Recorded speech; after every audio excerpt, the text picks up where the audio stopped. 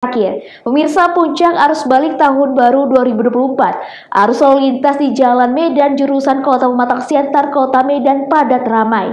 Antrian kendaraan mencapai 3 km lebih, mulai dari Simpang Tol Sinasak sampai Simpang Kerang, Kecamatan Siantar, Martoba.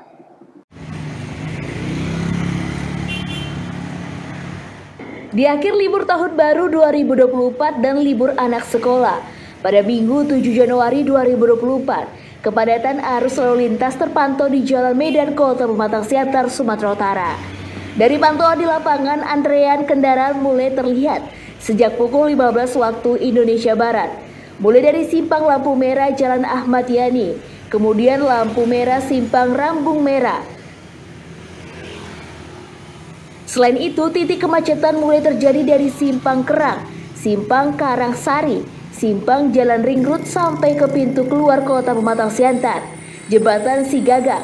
Lokasi kemacetan terparah terjadi mulai Jembatan Sigagak sampai menuju ke pintu tol Sinasang, Kabupaten Simalungun, Sumatera Utara. Antrean panjang kendaraan terlihat dari arah kota Pematang Siantar menuju kota Medan. Sedangkan dari arah Medan menuju Pematang Siantar terpantau ramai lancar.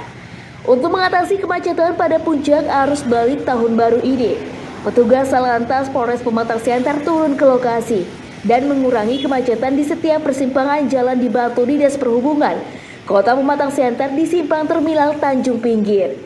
Kemacetan di ruas jalan Medan didominasi kendaraan pribadi dan bus yang datang dari arah Toba, kawasan wisata Parapat Danau Toba dan Kota Pematang Siantar.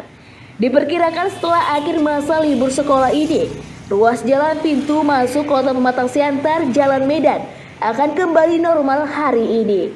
Eko Indra melaporkan dari Pematang Siantar untuk Evarina TV.